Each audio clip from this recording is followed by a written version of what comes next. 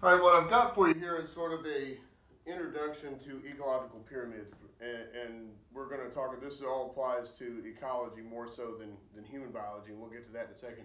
But uh, let me walk you through what I've got here. This says producers, producer level, primary consumer, and then secondary consumer. This says biomass. Biomass is basically the weight of all the living things in that category. So mass is different than weight. You remember that from physics, but in this case, we're going to call it all weight. Okay? And this says population or number of individuals. And what you see here are the same ecosystem.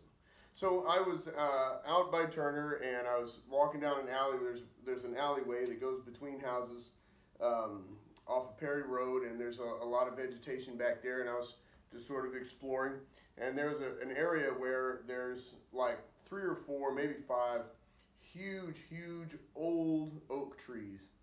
And I sat there for a minute and I was watching, and, the, and it has attracted all sorts of birds.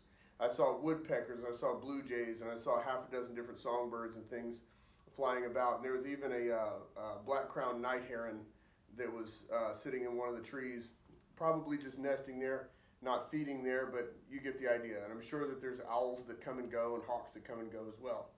So if we were to take a look at that ecosystem on two different charts, here's what we would see. If we were to look at mass, those trees are, are colossal. Each one of those trees is probably 15 tons apiece. And there's five of them, so by weight is colossal.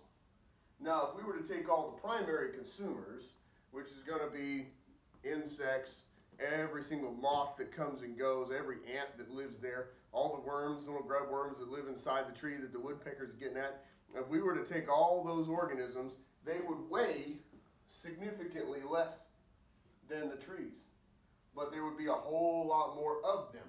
Okay? This suggests there's not very many of them, but they're huge. They don't weigh very much, but there's a ton of them. Okay, that's what these two charts are showing you. And if we go to secondary consumers, there are, you know, if we were to take all the birds and stuff, birds don't weigh very much. If we were to take the birds and stuff that come through there, it would weigh less than the insects. It would have to. So they don't weigh very much. But there is more of them than the trees. So if you were to look just at this, you would say, well, how in the world can we have more secondary consumers than producers? But that's not what's, what, what's really being shown to you here because those producers are huge, huge, huge, huge producers. So it seems misleading. Now, if we were to take a look at, say, an ocean ecosystem, where there's phytoplankton. If we were to take the weight of all the phytoplankton, all the kelp, all the other producers, all the seagrass, seaweed, and everything else, then the weight would be huge, absolutely huge. And in some places in the ocean where the because the net primary productivity of the ocean is relatively low, and we'll talk about that later, because that's relatively low, there are going to be places in the ocean where there's tons of plankton, just no fish there that particular minute. Maybe an occasional, uh, you know, open ocean fish or uh, some kind of filter feeder or something. Maybe some jellyfish that move through, but they, they don't weigh anything. And so it'll look like all these producers and there's nothing living there. Well, that's not entirely the case because those organisms move around and they migrate and everything else. If we were to take a look at one particular location, you can't look at one thing. You can't look at just biomass you can't look at just population. You have to look all at all of it all at the same time in order to get the complete picture of what you're seeing in that ecosystem.